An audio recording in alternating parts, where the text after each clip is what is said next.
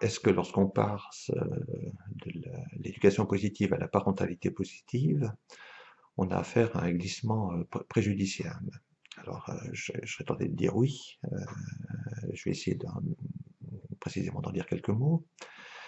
Alors peut-être d'abord en commençant par, dire que l'éducation positive a, tout à fait sa place, de mon point de vue, dans le champ de l'école. Elle, propose des techniques, des outils pédagogiques à disposition des enseignants euh, qui visent à favoriser des choses comme la coopération, la négociation, euh, à développer aussi certaines habiletés sociales, peut-être également à, supporter des situations d'échec, à supporter davantage la frustration, etc.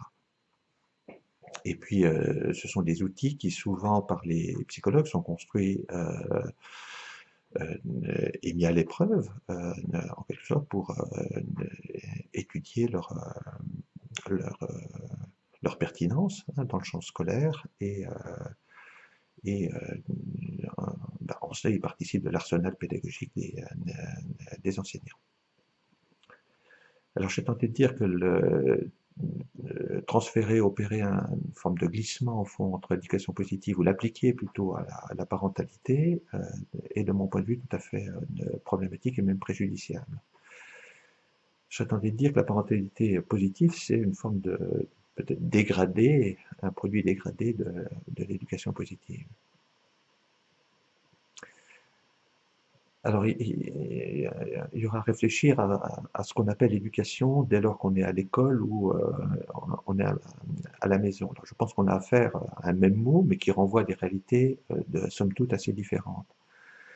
Euh, et il ne s'agit pas simplement d'une question d'une différence de, degré hein, entre ce qui se passe à l'école et ce qui se passe à la maison du point de vue de l'éducation, mais bien une différence de nature entre les deux.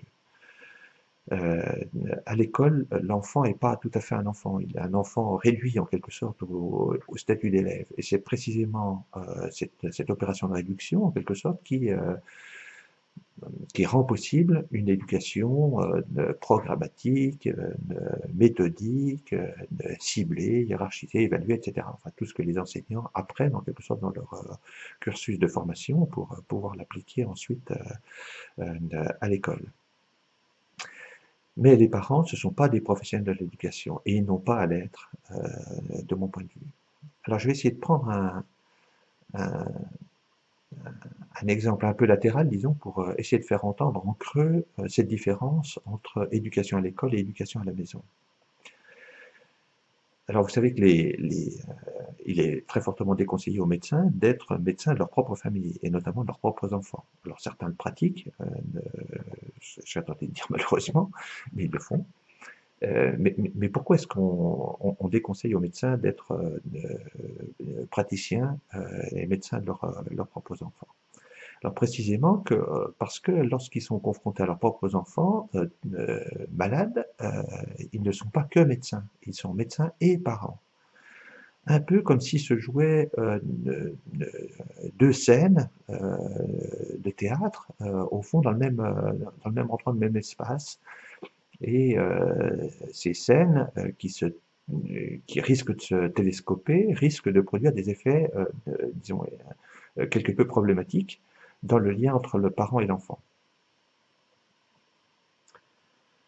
Et ce qui se joue du côté du, euh, du parent médecin se joue aussi du côté de l'enfant, c'est-à-dire que euh, quand un enfant voit euh, dans le regard de son parent un, pur expert, en quelque sorte, quel effet ça produit sur lui que d'être confronté à, un tel parent, lui-même réduit à l'expertise médicale.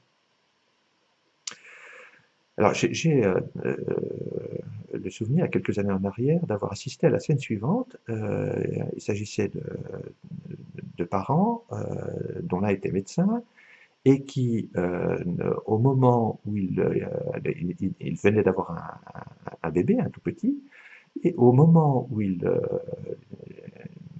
présente son, petit à, l'entourage, il, dit tout le plaisir qu'il a d'être parent pour la première fois. Et euh, cette scène se prolonge d'une autre. Le médecin euh, s'apprête à couper les ongles à son petit qui doit avoir quelques mois. Et euh, euh, il le fait en, montrant ostensiblement combien est angoissé à l'idée de faire ce geste, de, couper les ongles à, son petit bébé.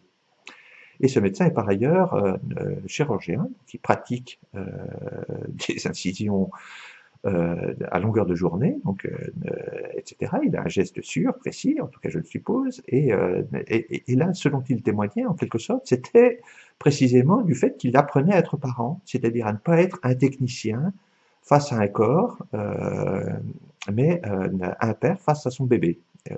voilà.